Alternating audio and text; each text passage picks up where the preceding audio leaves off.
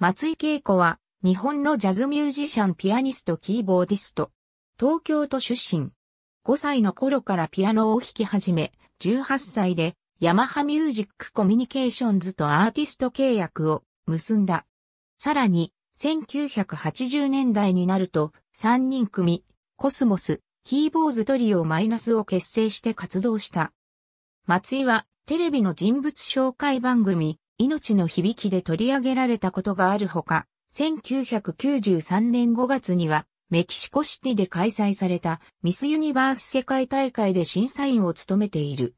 2001年、アルバム、ディープブルーが全米ビルボードのコンテンポラリージャズチャートで1位になった。日本人初。2006年7月18日、敦賀短期大学客員教授に就任。2016年、アルバム、ジャーニー・ツー・ザ・ハートが全米ビルボードのコンテンポラリージャズチャートで初登場1位になった。2019年、アルバム、エコーが全米ビルボードのコンテンポラリージャズチャートで初登場1位になった。2001年に発表したアルバム、ディープブルー以来3度目で日本人初。